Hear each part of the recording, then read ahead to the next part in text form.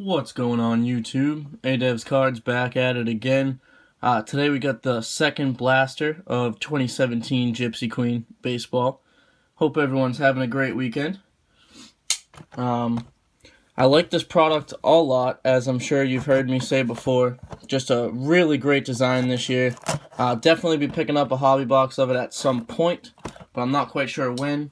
But keep uh, keep an eye out for that. So first blaster we broke. If you haven't watched it, go check it out. I did pull an autograph out of that, so very nice there. I don't I don't know uh, if we can go two for two with autographs, but you never know.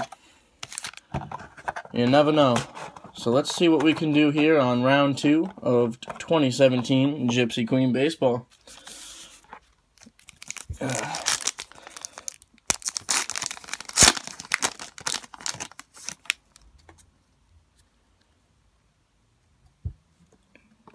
So starting it off, we have a Kevin Kiermaier, Brad Ziegler, a rookie of Robert Gresh, Greshman, Grossman.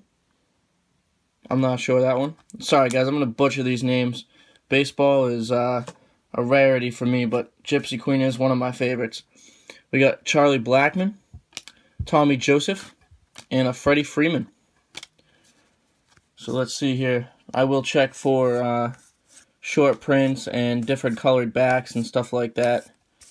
I will definitely be putting this set together, um, just because I like to put Gypsy Queen together every year. Figuring it's the only uh, the only baseball product I really collect, I might as well put the set together, right? We got a Zach Davies, uh, Starling Marte, an Orlando Arcia rookie, not bad. Sandy Koufax. I believe that is going to be a short print. I will check at the end. Clayton Kershaw and Randall Kirk Kirchnick. Kirchick. Uh, let's see here. Uh, yep, the Sandy Koufax is a short print, number 320 of 320. Uh, so very cool there. We did get that uh, one guaranteed short print card, so that would be it.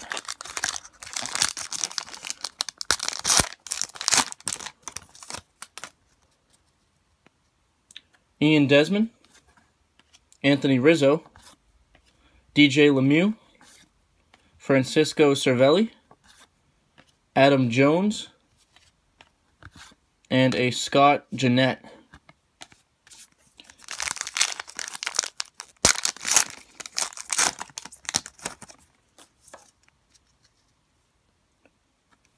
Got a as Asdrubal Correa. J.A. Happ. Oh, Andrew Benintendi rookie. Very nice for the PC. Very nice. I like that. Uh, Zack Cozart. We got a hand-drawn art card um, of, who is this? Of Zack Greinke. Hand-drawn art card. So that would be our first insert of the box. And we have a Mitch Moreland, also for the Red Sox. My uh, baseball PC is not huge, but I do PC the Red Sox. Uh, mostly David Ortiz and Dustin Pedroia are really my only two, you know, main PC guys for the Red Sox. As at this point, anyway. We got uh, Jake Lamb, uh, Yasmani Grandal, uh, Marcus Semien. Got a Kirby Yates. And there we go. There we go. Dustin Pedroia for the PC. And a Brian Dozier to end that pack. So, so far we only got one insert, no serial number cards or anything like that. Uh, hopefully we can at least pull, you know, maybe one serial numbered card. I think we have a, a fortune teller in this this one, so I'll just put that one at the side. There we go. Sam Dyson, Kevin Gausman, Edwin Diaz, Mike Trout, Jose Quintana, and the fortune teller is of Adrian Beltre. This is um, Gypsy Queen's versions of their minis this year. Uh, they switched up the product layout, and they don't do a mini in every pack this year, but they do have this tall boy fortune teller insert that they kind of put in the place of the minis this year, which I personally like.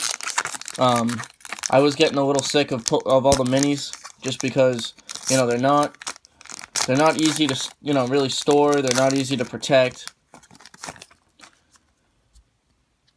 Got an Eric Hosmer, Adam Lind, Brett Gardner, AJ Pollock, Kirk, that guy, I'm not even going to try that last name, and an Adrian Beltre.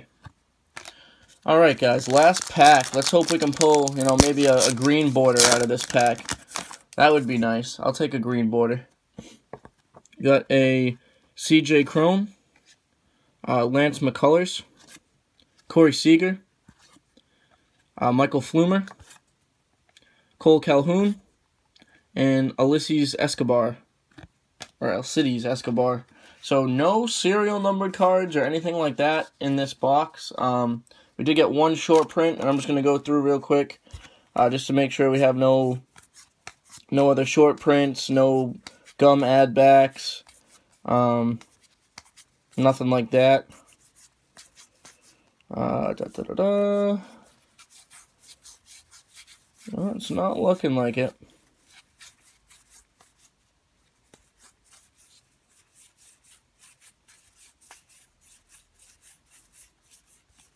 Alright guys, so no no ad backs, no short prints, besides the Sandy Koufax. Um, so overall, it was a pretty, you know, pretty bland blaster, but that's kind of what you expect out of every blaster, right? So thank you guys for watching, as always, and um, like I said in the beginning of the video, I'm definitely going to be trying to pick up a hobby box of this sometime in the near future. Um, but as always, guys, thank you for watching, and I'll catch you next video.